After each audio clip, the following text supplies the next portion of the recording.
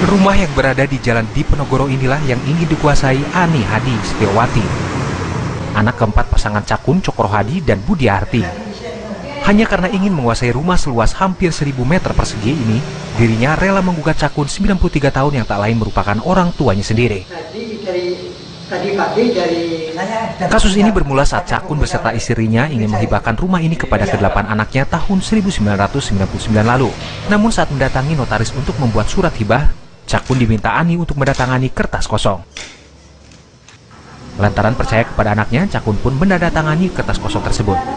Namun bukannya dihibahkan kepada kedelapan anak Cakun. Akta hibah yang dibuat Ani justru berisi bahwa Cakun menghibahkan rumahnya kepada dirinya sendiri. Sontak hal itu mendapat tantangan dari Cakun dan ketujuh saudara Ani.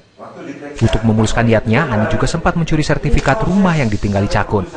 Menurut Cakun, jika rumahnya tersebut tidak diberikan kepada Ani, dirinya harus membayar uang sebesar 5 miliar lebih. Cakun juga mengaku setiap hari raya Idul Fitri, dirinya mengaku kerap diberikan uang oleh anaknya. Namun dirinya tidak menyangka jika uang yang diberikan tersebut merupakan uang pinjaman dan harus dikembalikan beserta bunganya. jadi saya hanya diminta sertifikat saja ke notaris yang ngatur dia.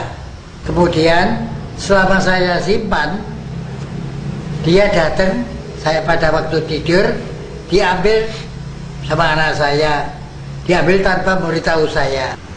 Tahun 2011 lalu, Cakun menggugat balik anaknya untuk menyatakan bahwa akte hibah yang dibuat anak keempatnya cacat hukum.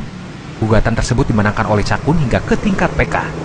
Namun tahun 2014 ini anaknya kembali menggugat Cakun dan kasusnya kini sudah sampai ke tingkat